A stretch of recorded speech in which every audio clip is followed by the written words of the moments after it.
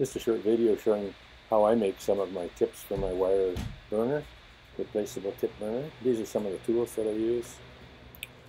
The Nichrome wire there, I got it from Amazon. I have 20 gauge and 22 gauge. 20 is a little bit thicker than the 22. Again, I use several hammers and some pliers and cutters and something to pound on if you if you don't have a vise. I have a vise. These are some of the tips that I made this morning, yesterday morning while I was thinking about uh, making this video.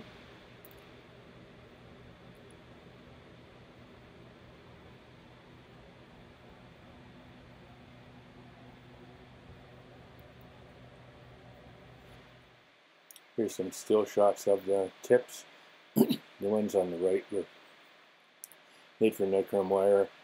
Um, these ones are made from springs, and uh, two on the right and the one on the left is made from nichrome wire from a hair blower, the heating element in a hair dryer, I guess it is. There it is, there are pieces of it.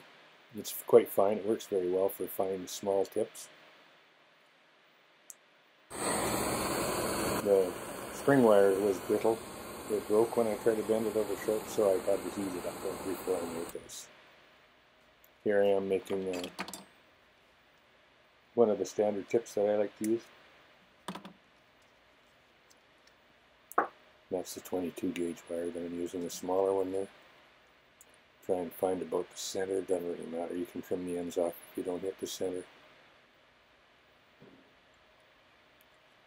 bend it over as tight as I can. I like to get the ends right squashed together if I can.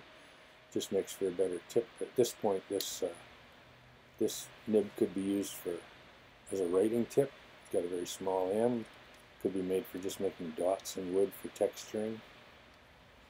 Or you could use it for anything you want. It's uh, fairly versatile. A lot of the kits come with this shaped tip. But in this instance, I, oh, here I am, I'm hammering the end flat so that the material comes round and hammer it flat. I hammer both sides and show that. Then I file the edges to try and get a sort of a knife edge that will allow me to do a very fine line when I turn it over on its side. Just going to stick it in the pen here so I can uh, bend it and polish it. That's that Burnmaster uh, interchangeable tip pens come with the Burnmaster. Then I just polish it up with some, I think this might be 400 grit sandpaper. And I try at this point to sort of make it roundish shape so that uh, it doesn't have the edges that are big in. I bent it too with the hair pliers, I bend them to about 20 degrees or something like that so it allows me a little better access to the end. Here's just some samples of what it'll do.